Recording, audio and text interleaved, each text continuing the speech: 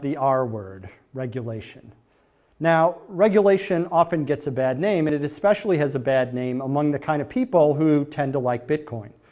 Uh, regulation is some bureaucrat who doesn't know my business or what I'm trying to do coming in and messing things up. It's a burden, it's stupid, it's pointless, etc. Now, those arguments often are correct, um, but I want to talk in a little more detail in this section about reasons why regulation might sometimes be justified. The argument against regulation is pretty common, it's pretty well understood. I'm not going to repeat it here. Uh, and so you'll hear me talking mostly about reasons why regulation might be a good idea, because that argument is not as well understood, and I want to lay it out here a little bit.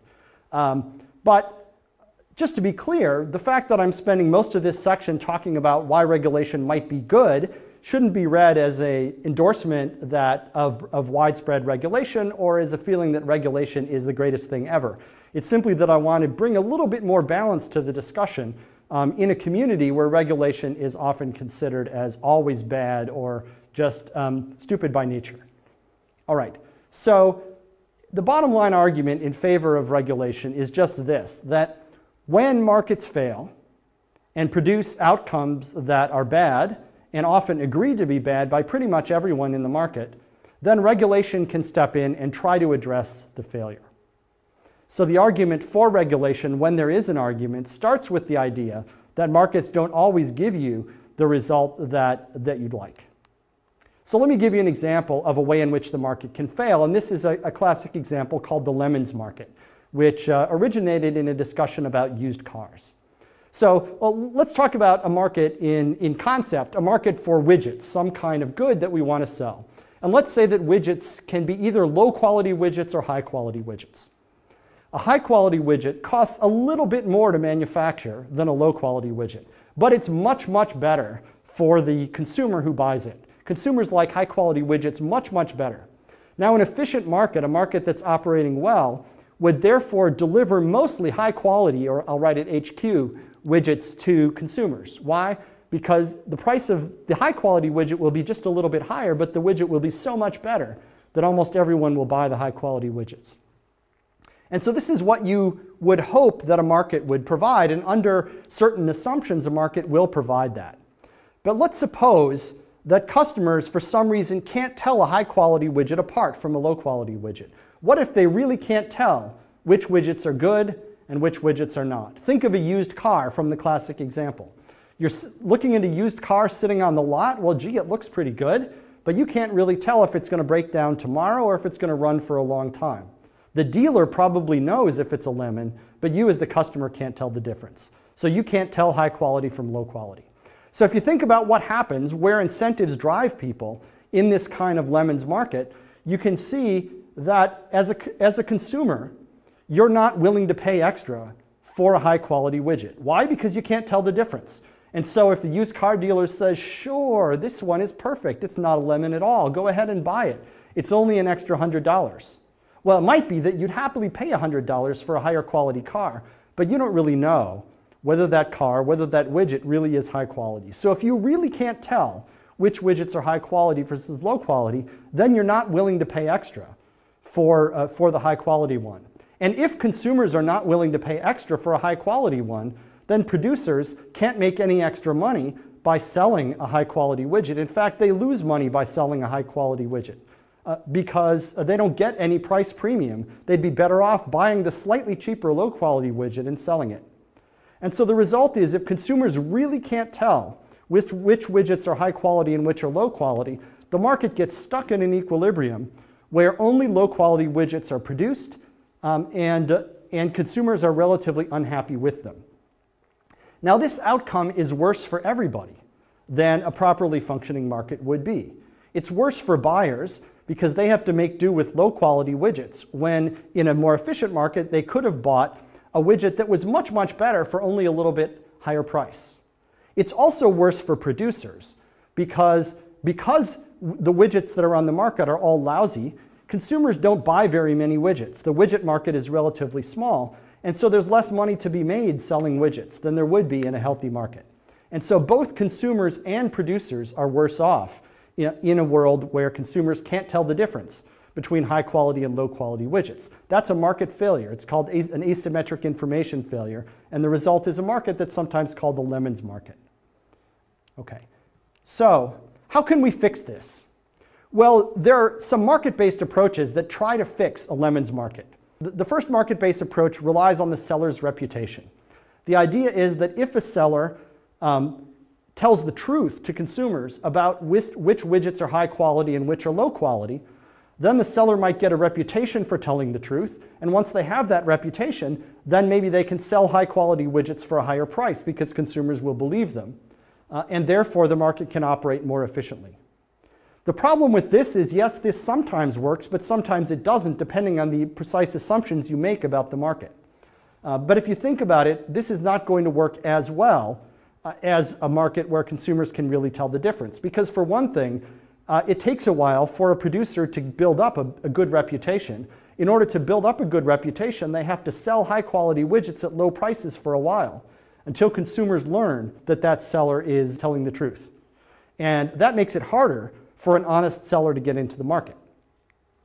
The other problem that can occur is that that seller, uh, even if they've been honest up to now, if for one reason or another their sales are shrinking or they think they want to get out of the market, their incentive is to massively cheat people all at once and then leave the market, rather than continuing to be honest and then leave the market. And so in the beginning of a seller's presence in the market and at the end of a seller's presence in the market, reputation tends not to work. This sort of reputation-based approach also tends not to work in businesses where, uh, where consumers don't do repeat business with the same entity or where the product category is very new. Uh, and so there hasn't been enough time for sellers to build up a reputation, like, say, in a high tech market, like, say, Bitcoin exchanges. The other market based approach is warranties. That's the idea that a seller could provide a warranty to a buyer that says that if this thing turns out to be low quality, if it doesn't work well for you, I'll give you a new one, I'll pay you, I'll pay you back, or, or something like that. Uh, and that can work up to a point as well, but there's also a problem there that this warranty is just another kind of product which could also come in high quality and low quality versions. A low quality warranty is one where the seller doesn't really come through when you come back with a broken product. They don't really replace it. They don't really give you their, your money. They make you jump through all kinds of hoops. And so this is not a panacea either.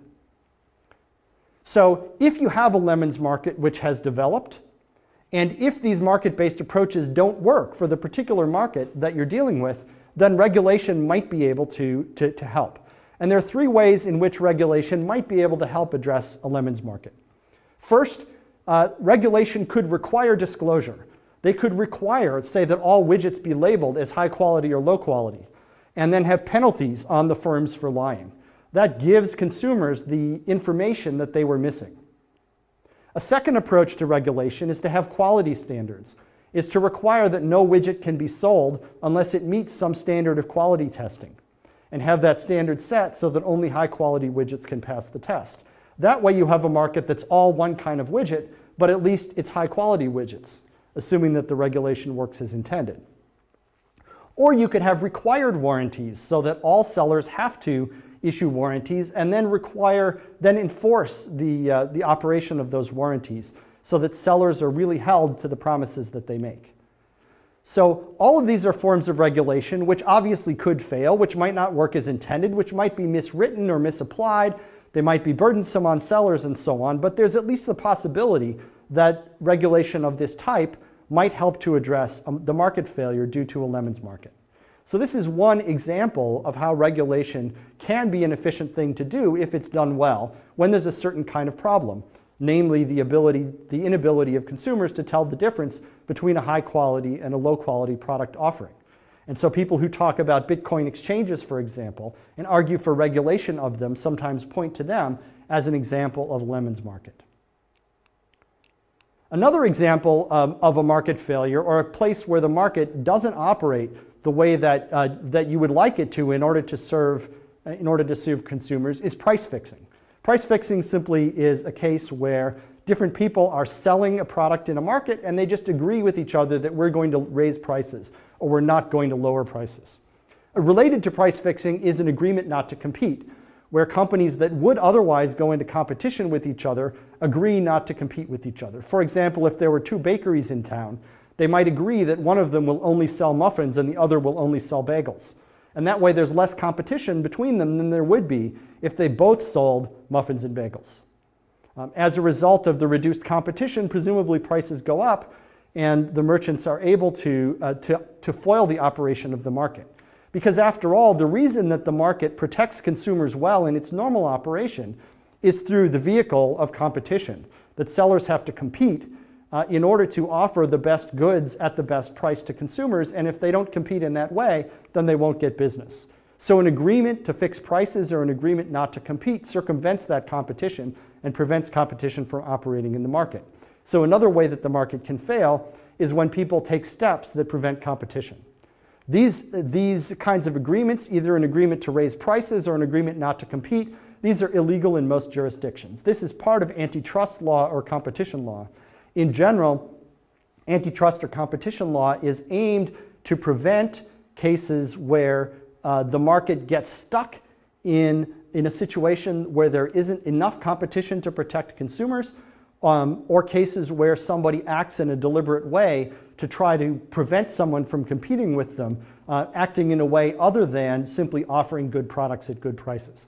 Antitrust law is very complicated. I've given you sort of a sketch of it, but this is another instance where we know that there are failures that can occur and where the law will step in to prevent, in the easy cases, things like price fixing or agreement not to compete, but in more difficult cases, uh, even some attempts to reduce competition in the market through, say, mergers uh, or other kinds of activity. Another example where regulation might be helpful.